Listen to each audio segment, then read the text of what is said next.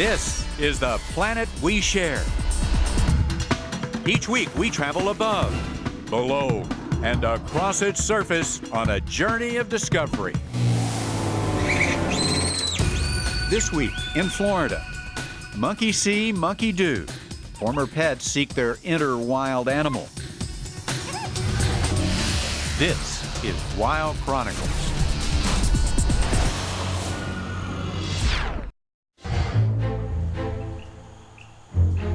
At Florida's Jungle Friends Primate Sanctuary, a monkey named Tessa is the new girl in town. She's been here for just a few hours, but this brown capuchin monkey has already found the best places to get a good meal. Have a few drinks, or just hang out. Tessa's life may seem easy now, but her journey to the Jungle Friend Sanctuary has been anything but a breeze, either for her or for her adoptive mom. I am Tessa's adoptive mother. We got her when she was about three weeks old and have had her for four years now. We got her because my husband and I have been trying to get pregnant for several years and we couldn't and I was wanting a baby and he wasn't really interested in adopting a baby at the time and so my mom and I came up with the idea of getting a monkey and so we looked around and we found Tessa and that's kind of how that happened. Three years after Tessa became part of the Abernathy family, a surprise development. Amanda found out she was pregnant. Amanda worried that sibling rivalry could put the newborn in jeopardy. But ironically, it was the monkey whose health was most in danger. She developed a disease all too familiar to many humans. She had real fruity breast smell and everything. You know, she was drinking a lot, and I started putting two and two together. I thought maybe she was diabetic, and we took her to the vet a couple times, and he finally he checked her blood sugar, and it was running 1120. With her glucose at 1120, I couldn't believe she was still alive. She was pretty near death when uh, Amanda called me. That's a good boy. Here you go, Poochie. Kari Bagnall is the founder of the Jungle Friends Primate Sanctuary. The facility is a safe haven for monkeys that have been kept as pets, used in laboratories, or retired from movies and circuses. These captive raised monkeys can't be returned to the wild. They would never survive, and most zoos won't take in former pets. So, for a diabetic monkey like Tessa, Jungle Friends is a last resort. I've been checking her blood every three hours, morning, day, night, everything, and you know I've got the baby to take care of, and so we thought she'd be just better off here, and so that way she can get the care she needs. In the wild, monkeys very rarely develop diabetes. In captivity, it's a common killer. The culprit? Too much human junk food, not enough fruits and vegetables, an unhealthy recipe for all primates, including people.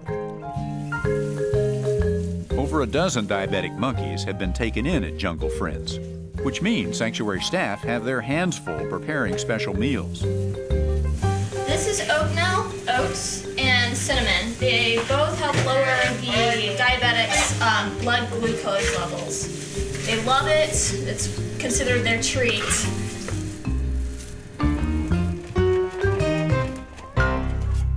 Once the breakfast rush is over, it's time for Tessa to meet her new neighbors. An expert in monkey social behavior, primatologist Erin Ehmke, will help wean Tessa away from her human family and form new bonds within her own species. We basically put Tessa in a cage where she's connected to three other groups right now. And so it's up to her as to who she wants to become friends with and who seems to be most likely to want to become friends with her in turn. Of all the boys next door, Mario gets the first hello.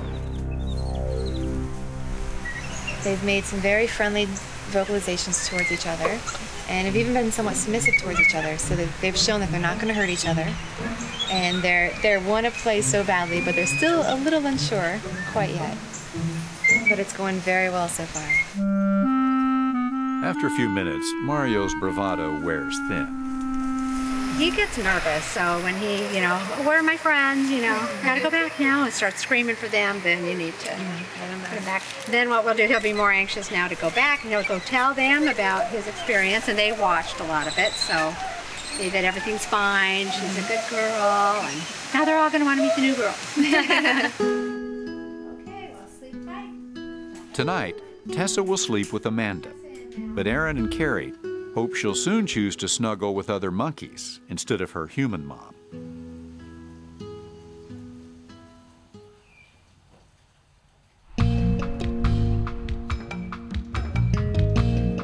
The next morning, Kari's up early to prep the daily medications.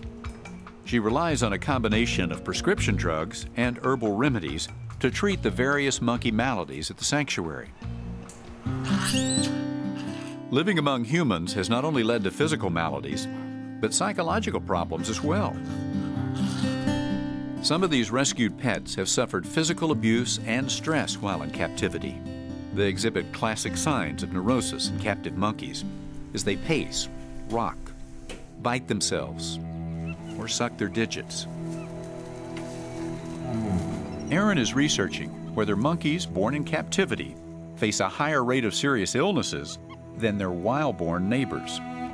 It became clear that it was the young monkeys that were born in captivity, that were bred to be pets, that are dying of cancer and heart disease at three, four, five years old when they're just juveniles. But then you have these older, elderly geriatric monkeys that were likely caught in the wild, um, and they've had horrible, stressful lives of neglect and abuse and just, you know, horrific stories that I don't even want to repeat. Um, but they somehow are able to cope with it. And they are living strong, active lives even into their 40s. So why is it?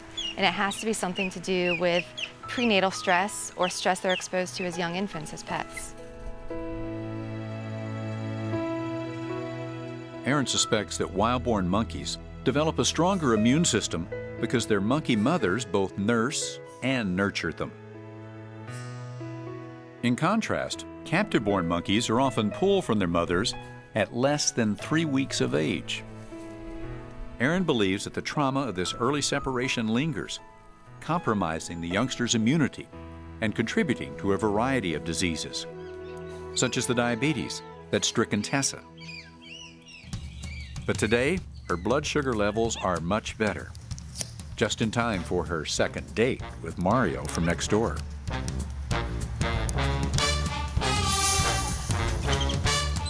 After a tentative start, the two are inseparable.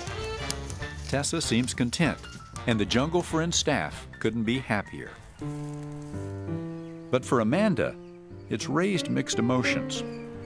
I know it sounds silly, but I mean, I feel like, because I raised her from three weeks old to now, and she, you know, when I couldn't have a baby, she was there for me, and she was my sweetie, and so, yeah, it's gonna be, it's gonna be really hard, so. But, I don't know, it's silly, but I mean, she is, she's my little sweetie. So.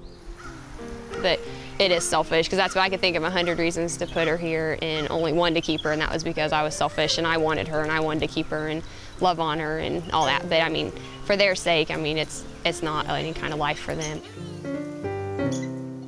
For Amanda, this is the end of a journey. But for the new girl in town, it's just the beginning.